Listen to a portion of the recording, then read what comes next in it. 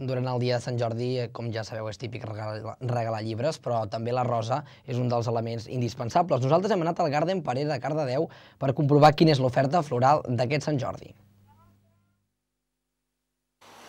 Roses com aquestes les podrem trobar per les floristeries de Cardedeu durant aquesta setmana de Sant Jordi. Un exemple d'aquestes n'és la floristeria Garden Parera de la carretera de Cànoves, un dels pocs gardens de Cardedeu. Per descobrir què ens porten a aquest Sant Jordi, Anna Parera, florista del Garden, ens ho explica. Doncs mira, el que estem preparant aquest any són, a veure, d'entrada n'hi dos tipus de roses. Una que és la més, a veure, la més normal, que serà aquesta d'aquí, més o menys. Falta acabar-la d'arreglar, eh, una miqueta. Vale?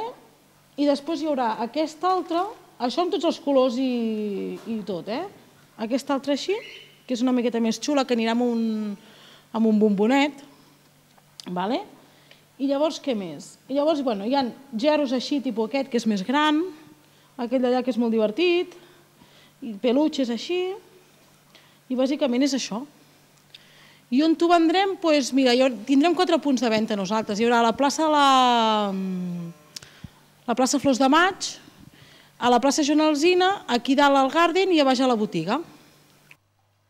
Però no totes les roses valen, ja que cada any cal fer una selecció acurada dels tipus de roses, tenint en compte la seva procedència i sobretot la seva durada. Mira, de varietats de roses n'hi ha moltíssimes i tenim una feinada cada any a triar la rosa perquè nosaltres mirem de triar-la doncs, que sigui que duri, que s'obri, aquestes coses. A veure, n'hi ha que venen d'Equador, de, n'hi ha que venen d'Holanda.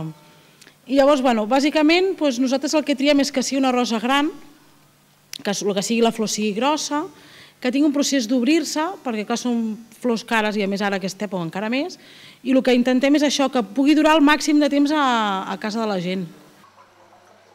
Sembla, doncs, que aquest Sant Jordi d'enguany, amb tantes roses i llibres, no s'afluixarà.